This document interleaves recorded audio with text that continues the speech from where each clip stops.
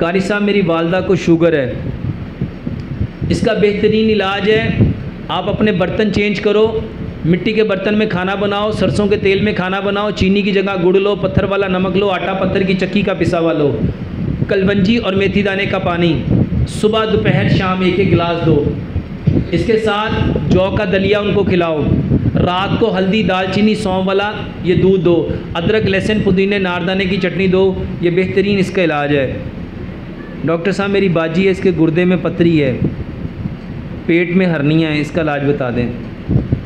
जितने लोग